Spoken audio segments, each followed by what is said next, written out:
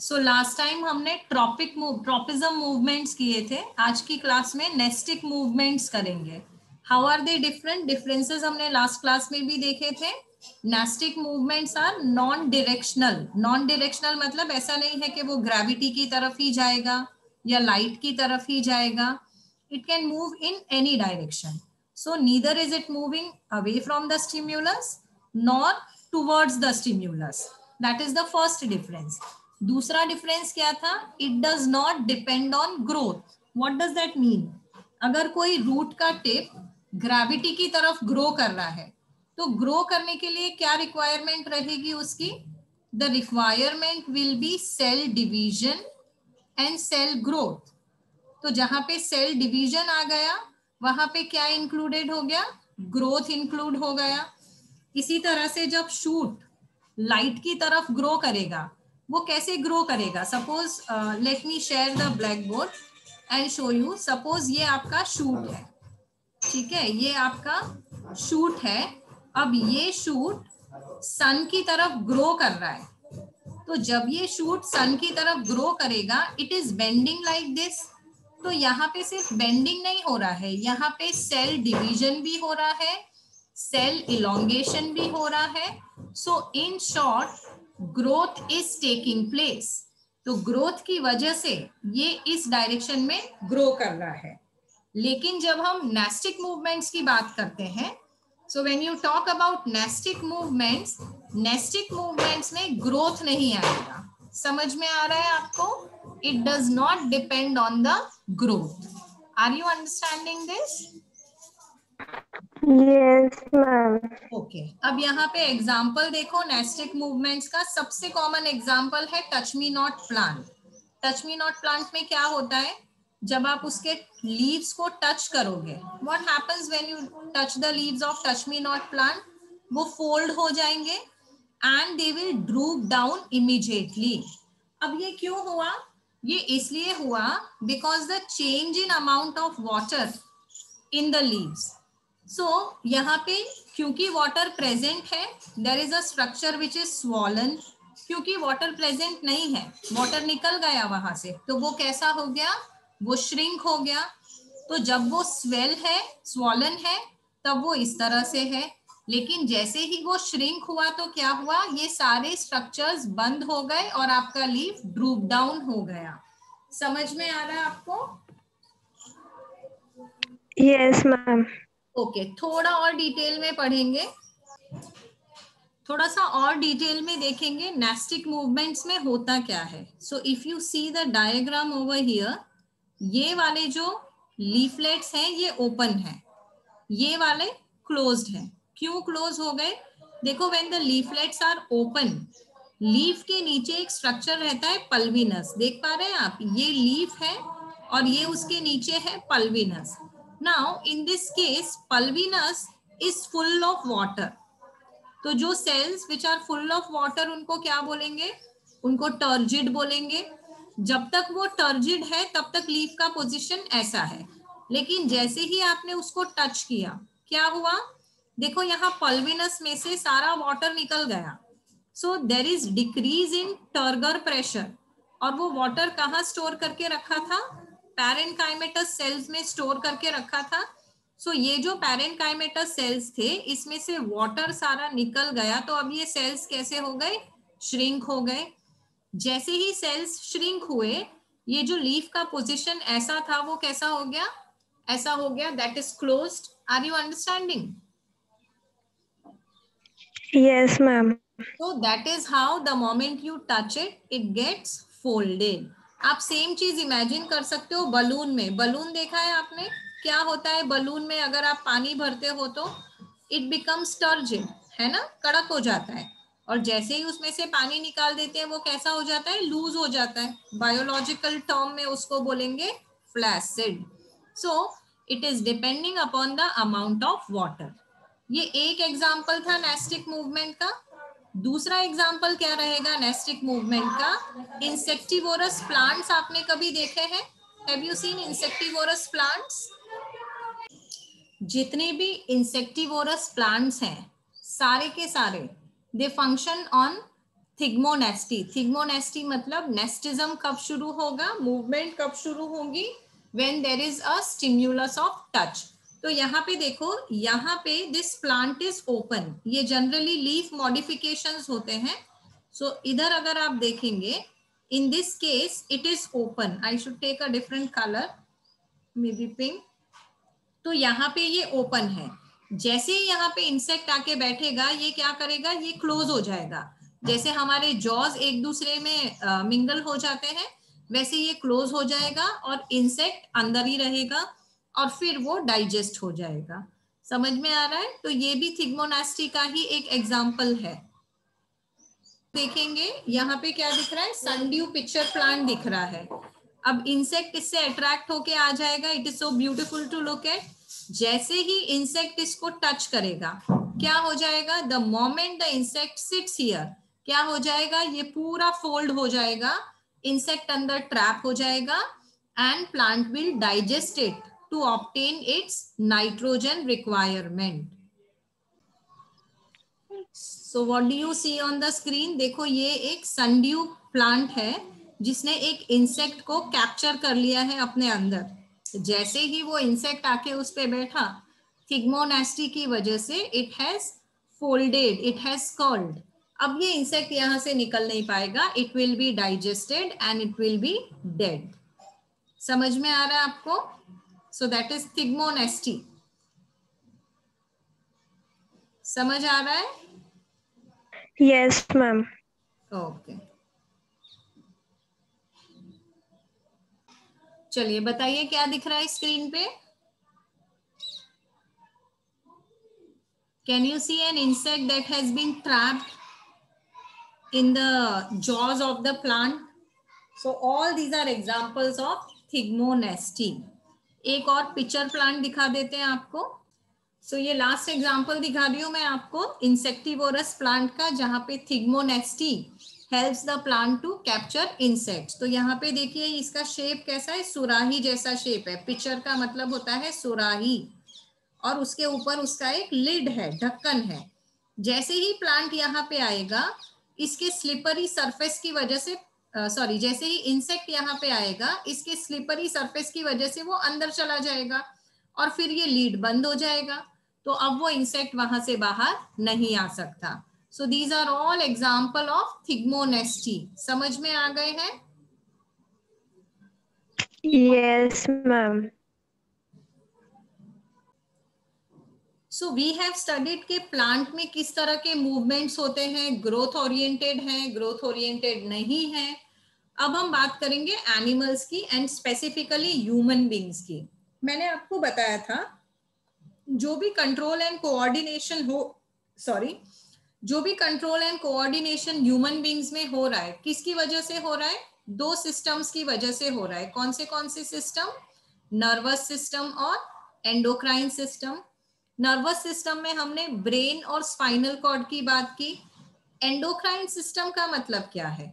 तो endocrine system में किसकी बात करेंगे हम? एंडोक्राइन सिस्टम में हॉर्मोन्स की बात करेंगे।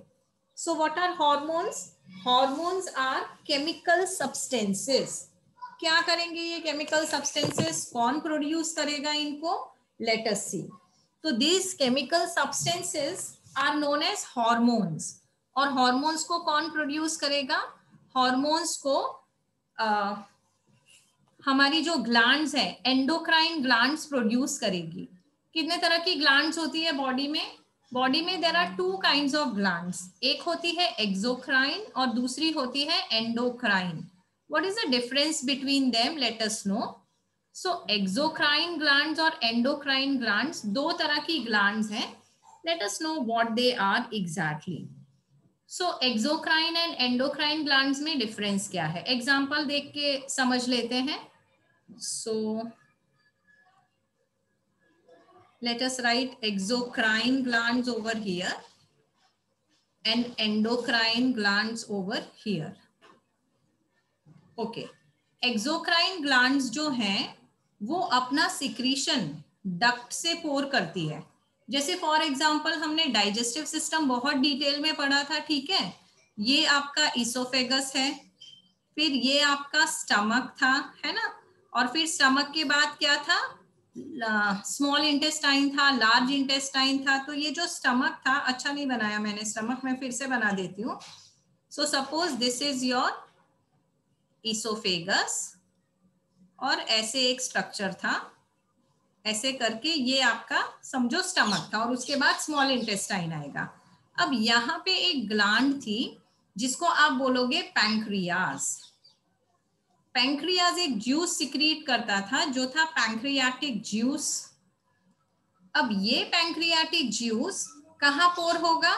डिओडेनम में पोर होगा। डिओडेनम मतलब स्मॉल इंटेस्टाइन का जो प्रोक्सिमल पार्ट था, उसको बोलते हैं डिओडेनम तो पैंक्रियाटिक जूस डिओडेनम में ही पोर हुआ और वहाँ पे ही उसका एक्शन हुआ। एक्शन क्या था? फ़ूड डाइजेस्ट करना था। तो जिस ग्लैंड में एक डक्ट है and it is you know acting at the site where it is release उसको बोलेंगे एक्सोक्राइन ग्लैंड तो एग्जाम्पल्स जैसे पैंक्रियास पैंक्रियास डबल ग्लैंड है, इसकी हम बाद में बात करेंगे। पैंक्रियास का एग्ज़ाम्पल यहाँ भी लिख सकते हो, यहाँ भी लिख सकते हो। मैं एक्सप्लेन करूँगी बाद में, क्यों? गैस्ट्रिक ग्लैंड्स का एग्ज़ाम्पल ले लो। ठीक है? तो आपका जो स्टमक है, जैसे ही फ़ूड स्टमक में गया फ़ूड में बहुत सारी चीज़ें सिक्रीट होने लगी। एचसीएल सिक्रीट हुआ पेप्सिनोजन सिक्रीट हुआ, बहुत सारी चीज़ें सिक्रीट हुई जो खाने को डाइजेस्ट करने में आपको हेल्प करेंगी। कैसे पता चला कि उनको सिक्रीट होना है? तो there is a gastric hormone gastric hormone is going to regulate all दो थिंग्स और वो गैस्ट्रिक हार्मोन कहाँ से आया? गैस्ट्रिक ग्लैंड से आया। तो ग्लैंड का एक डक्ट था जिसके थ्रू वो हार्मोन स्टमक में पोर हो गया। और वो स्टमक में ही एक्शन दिखाएगा। वो लिवर में किडनी में ब्रेन में एक्शन नहीं दिखाएगा। It will act only in the stomach तो ये इस तरह की glands which have duct to pour their secretion and their action is local local मतलब at the place where they are secreted उनको हम बोलेंगे एक्सोक्राइन ग्लैंड एंडोक्राइन ग्लैंड का मतलब होता है दे आर डक्टलेस ग्लैंड उनका कोई डक्ट नहीं है। अगर डक्ट नहीं है तो सिक्रीशन कहाँ पोर कर रहे हैं? सिक्रीशन पोर कर रहे हैं ब्लड में। तो एंडोक्राइन ग्लैंड्स या तो डक्टलेस ग्लैंड्स वो ब्लड में अपना सिक्रीशन या तो हार्मोन पोर करेंगे। ब्लड के थ्रू वो पूरी बॉडी में सर्कुलेट होगा। और वो सिक्रीट कहीं और हुआ है उसका एक्शन कहीं और जाके होगा।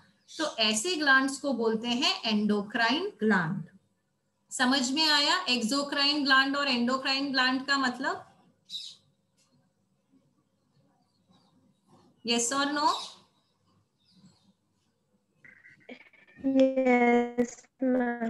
ओके पैंक्रियास को हम डबल ग्लैंड बोलते हैं क्योंकि पैंक्रियास के कुछ सेल्स हैं जो एक्सोक्राइन एक्ट करते हैं और कुछ सेल्स हैं जो एंडोक्राइन एक्ट करते हैं। तो एक्सोक्राइन कौन से वाले और एंडोक्राइन कौन से वाले? तो एक्सोक्राइन ग्लैंड्स एक्सोक्राइन पार्ट जो है it will secrete pancreatic juice और एंडोक्राइन पार्ट क्या सिक्रीट करेगा?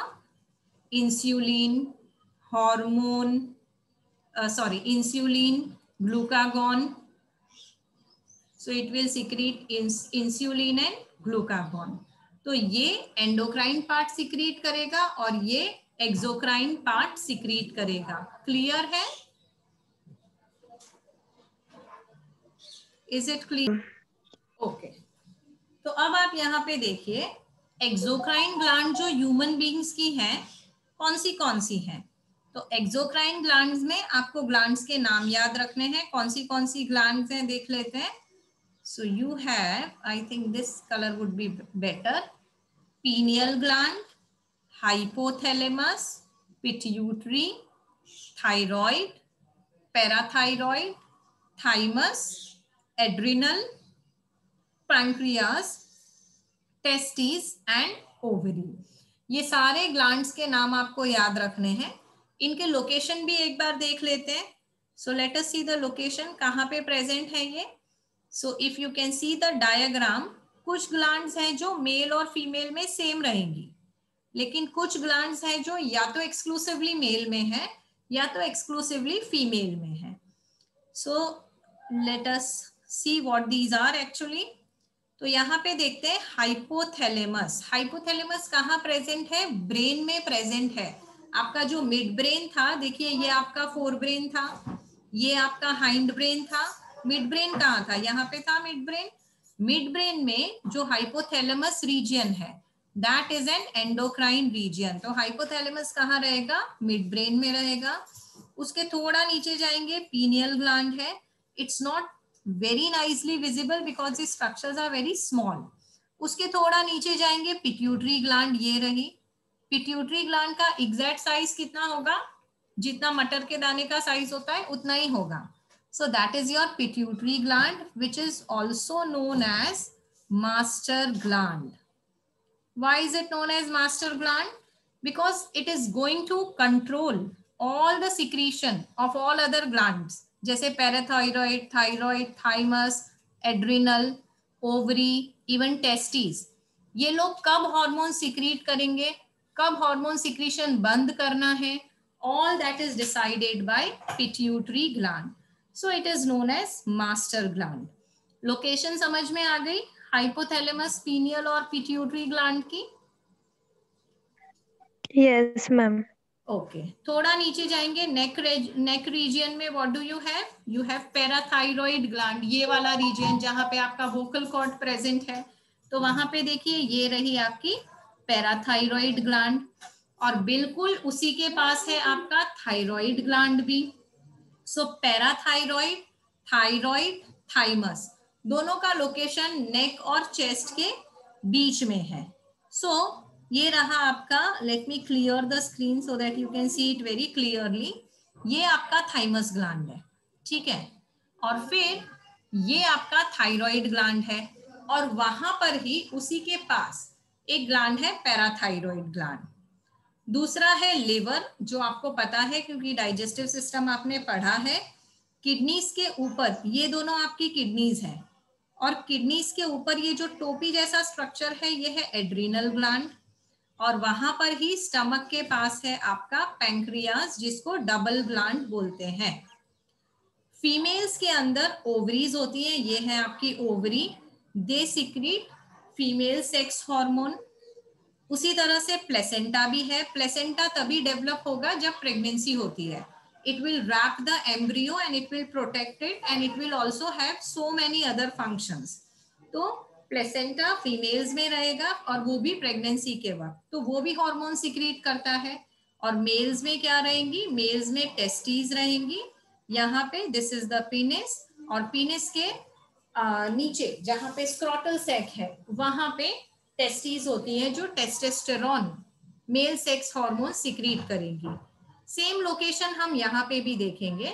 So this is your brain जहाँ पे हाइपोथैलेमस हाइपोथैलेमस के नीचे pituitary what else do you have here यहाँ पे ये रहा आपका पैराथाइरॉइड उसके नीचे थाइमस बाकी ग्लैंड्स तो इतनी कंफ्यूजिंग नहीं है तो वो शायद क्लियर रहेगा। एक और डायग्राम देख लेते हैं। So that it becomes very clear to you hormones के बारे में बात भी करेंगे बाद में पर पहले लोकेशन समझ लेते हैं। सो so, यहाँ पे देखिए ये आपका ब्रेन रीजियन है। ब्रेन रीजियन में कितनी ग्लैंड्स हैं आपके पास? One pineal two hypothalamus three pituitary उससे नीचे आए नेक रीजियन में क्या क्या है? थायराइड एंड पैराथाइरॉइड उससे थोड़ा और नीचे आए, कौन सा ग्लैंड है? थाइमस उससे थोड़ा और नीचे आ जाइए डाइजेस्टिव सिस्टम के साथ एसोसिएटेड पैंक्रियाज एक्सक्रीटरी सिस्टम में किडनी है किडनी के साथ एसोसिएटेड एड्रिनल ग्लैंड फीमेल्स में ओवरी है और मेल्स में टेस्टीज है। लोकेशन क्लियर है? Is the location yes, ma'am okay अब थोड़ा सा ये भी जान लेते हैं कौन सा ग्लैंड कौन सा हार्मोन सिक्रीट करता है right so the slide is very crowded पर थोड़ा धीरे धीरे से समझते हैं इसको। So if you see here यहाँ पे एड्रिनल ग्लैंड की बात करेंगे। एड्रिनल ग्लैंड कौन सा हार्मोन सिक्रीट करेंगे? एड्रीनालिन हार्मोन कब सिक्रीट करेंगे? तब सिक्रिएट करेंगे जब फाइट और फ़्लाइट वाली कंडीशन होगी। So when we are frightened when we are anxious when we are angry उस वक्त क्या होता है? उस वक्त adrenal glands adrenaline hormone secrete करती है। कहाँ सिक्रीट करेंगे? जैसे मैंने बोला ब्लड में सिक्रीट करेंगे। ब्लड से कहाँ जाएगा ये? ब्लड से ये वो सारी जगहों पर जाएगा जो आपकी बॉडी को प्रिपेयर करेगी स्ट्रेस वाली सिचुएशन के लिए। जैसे देखो it will go to heart तो आपकी हार्ट बीट इंक्रीज हो जाएगी। It will go to rib muscles it will go to diaphragm तो डायाफ्राम जल्दी जल्दी ऊपर नीचे मूव करेगा। उसकी वजह से क्या होगा? आपका ब्रीदिंग रेट बढ़ जाएगा। सो सो डायाफ्राम की वजह से क्या हुआ? आपका ब्रीदिंग रेट बढ़ गया। जब हार्ट जल्दी जल्दी ब्लड पंप करेगा, जब लंग्स जल्दी जल्दी ब्रीदिंग करेगा तो क्या होगा? तो मसल्स को बहुत सारा ऑक्सीजन मिल जाएगा and your body is prepare either to run away और to fight with the enemy आप सिचुएशन देख के डिसाइड करोगे फाइट करना है या भाग जाना है वहाँ से। जैसे आपके पीछे एक लायन पड़ा हुआ है तो आप फाइट करने नहीं बैठोगे, आप भागोगे वहाँ से। भागने के लिए क्या चाहिए? मसल्स चाहिए मसल्स को एनर्जी चाहिए एनर्जी के लिए ऑक्सीजन चाहिए। तो उसका सप्लाई इंक्रीज करने के लिए all this changes will take place तो फाइट और फ़्लाइट हार्मोन कौन सा है? एड्रिनालिन हार्मोन है। समझ में आ गया? Yes ma'am iodine is needed to secrete thyroid gland तो जो थायराइड ग्लैंड है वो कौन सा हार्मोन बनाएगा?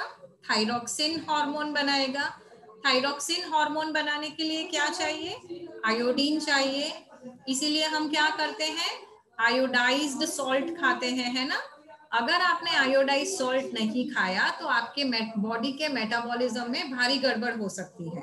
So thyroxine will control metabolism of carbohydrate fat and proteins तो सारी चीज़ें उसका मेटाबॉलिज्म कंट्रोल करेंगे so that proper growth and development can take place अच्छा समझो थायराइड ग्लैंड प्रॉपरली फ़ंक्शन कर रहा है लेकिन आयोडीन डेफिशिएंसी है तो क्या होगा? बताओ क्या होगा? सो so,